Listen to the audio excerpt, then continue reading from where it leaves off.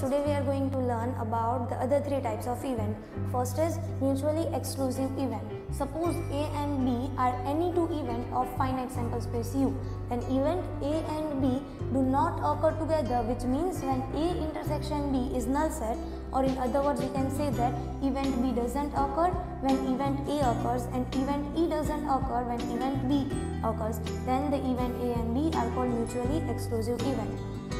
For example, event A denotes that uh, if we toss a coin then we get a head and event B denotes that if we coin a toss we get tail. Then event A is getting a head, event B is getting a tail. Now there are mm, none of the values which is repeated in A as well as B. So we can say that A intersection B is null set. So whenever the A intersection B is null set, this type of events are termed as mutually exclusive event. This is the Venn diagram. Here we are not having any intersection because this is mutually exclusive event.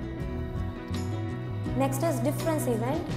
Suppose Are any two event of finite sample space U, then set of elements or outcomes where event A happens but event B doesn't happen is called difference event of A and B. Here it is denoted by A minus B that means event A is occurring but event B is not occurring. The formula is A intersection B dash which is A minus A, interse A intersection B.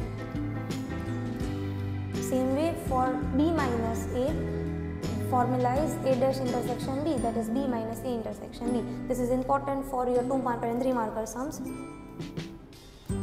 And last is exhaustive event.